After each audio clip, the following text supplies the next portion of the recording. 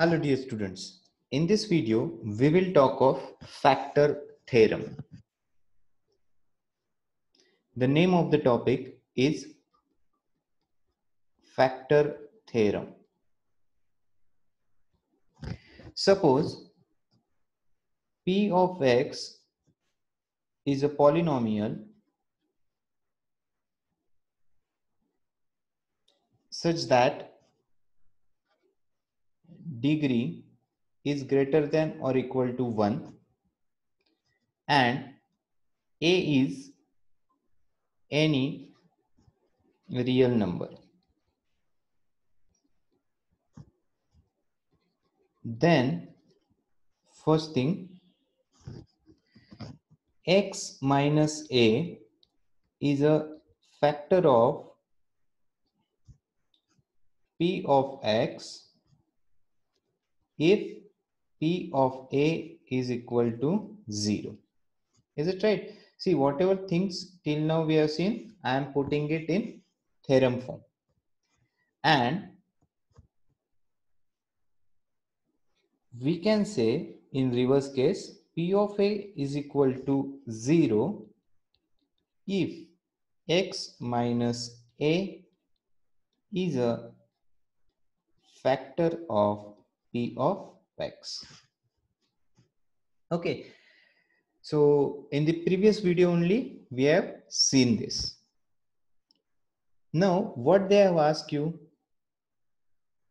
you have to examine whether x plus 3 is a factor of x cube plus 6x square plus 11x plus 6. That means if you get a remainder is equal to 0 at x is equal to at x is equal to a or at x is equal to minus 3 you can say it is a factor of given polynomial. Okay let us see. Okay i will explain you here. What is p of x? What is the given polynomial? P of x is x cube plus 6x square plus 11x plus 6. Now what is divisor? What is divisor in this case? Divisor is equal to x plus 3. Let us find out 0, 0 of divisor. How you will find out 0 of divisor? You will equate x plus 3 with 0. So x is equal to minus 3. This is what your 0 of the polynomial.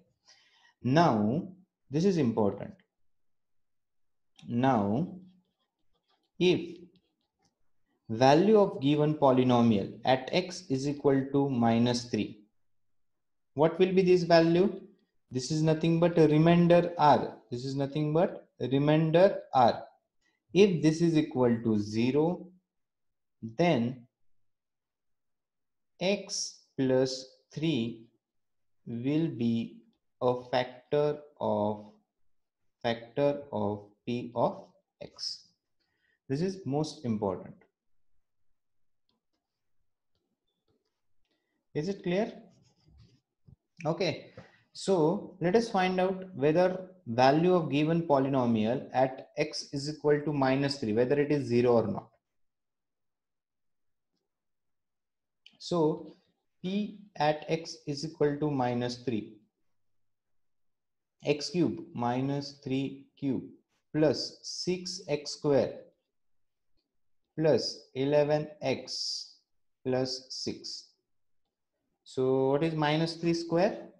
Minus 27 plus minus 3 square 9. 9 into 6 54 minus 33 plus 6. So how much you will get?